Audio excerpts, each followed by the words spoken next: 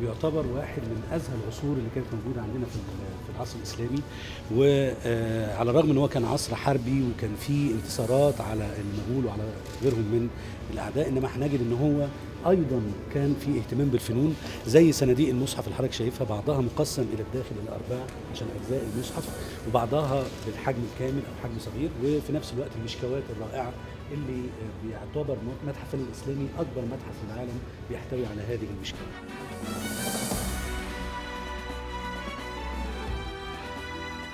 هنا الحدوته بتاعتنا عن النظافه والطهاره والجمال عندنا في الدين الاسلامي والحضاره الاسلاميه ما بين قماقم العطر وعلبه النشوء والمكحله والمرايات اللي ظهرها من خلف مسكول والامشاط.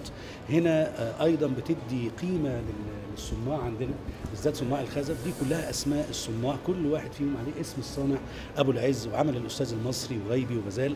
وكل ده خزف عمره يزيد على 600 أو 700 عام.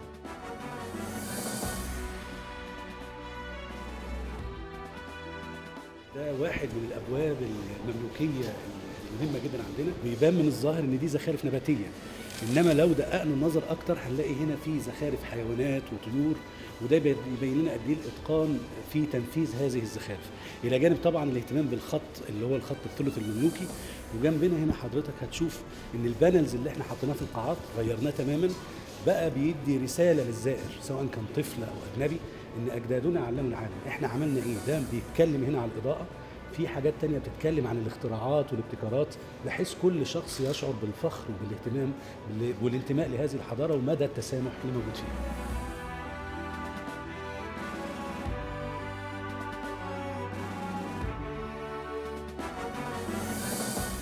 أيضا الموافير كان عندنا علماء في الفيزياء والميكانيكا ومتخصصين في رفع المياه من الأرض بأشكال رائعة جدا.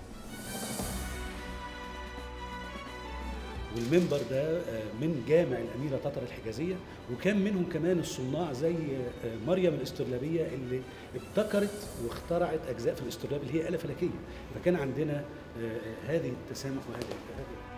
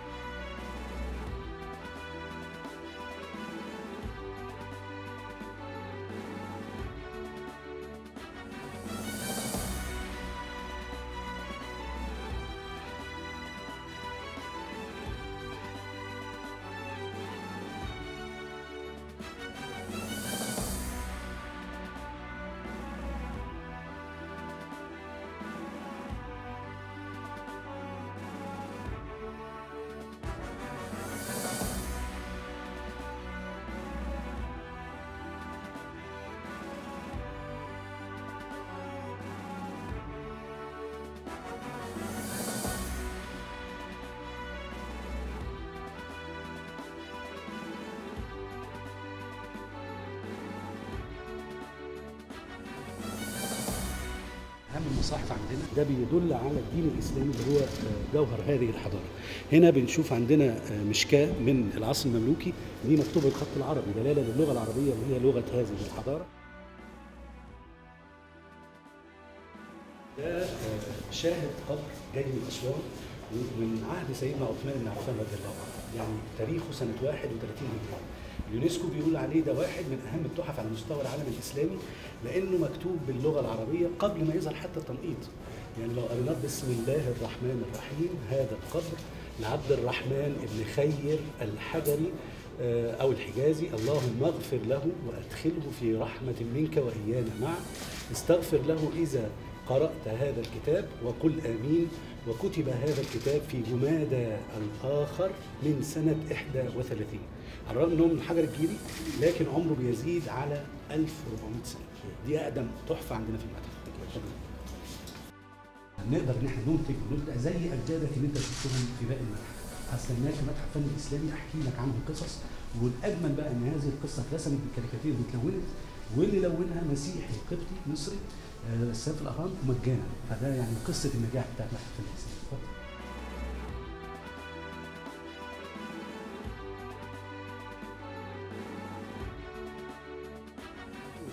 تذكار للزواج بتاع الملك فاروق والملكه نريمان لأول مرة كل ده بيعرض آه، أدوات الإكسسوارات والزينة انتهاء بالاحتفال بالزواج. ده هنا بقى العريس. عملنا الإنسان الالي من حوالي 800 سنة وفي قصص وروايات دي عبارة عن ساعة دقاقه اسمها ساعة الفيل.